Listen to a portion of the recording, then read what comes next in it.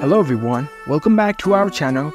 In today's video, I'm gonna show you how to download Gemini AI on your phone. It's a very simple download process, so I'll guide you through how to do it. Let's dive right in. First of all, on your phone, make sure you are connected to the internet and head over to your App Store if you're using an iPhone or the Google Play Store if you are using an Android device.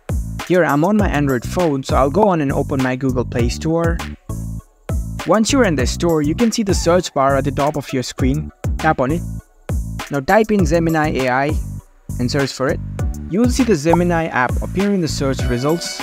Look for the official app, it should have this logo. Once you find the app, you can see the install button right next to the app icon. Tap on it to download the app on your phone. The download process might take few moments depending on your internet speed. Once the download is complete, the app will automatically get installed on your device. Here you can see the open button. You can directly launch the app from here. So tap on open. It is asking if you want to switch to Gemini from Google Assistant. You can decide as per your choice. Tap on use Gemini. And there you go. You've successfully downloaded the Gemini AI app on your smartphone. You can now start exploring the features of this app. If you found this video helpful, don't forget to give this video a thumbs up and subscribe to our channel for more tech tips. Thank you for watching.